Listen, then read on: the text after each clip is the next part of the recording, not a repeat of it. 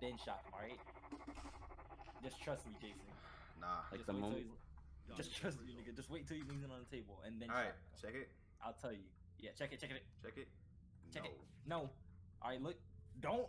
Don't. Keep going. So you're telling me leave him like that? yes, he's fine. One.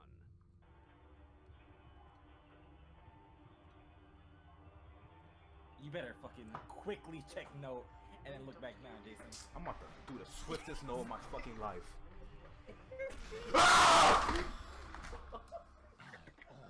Gary, I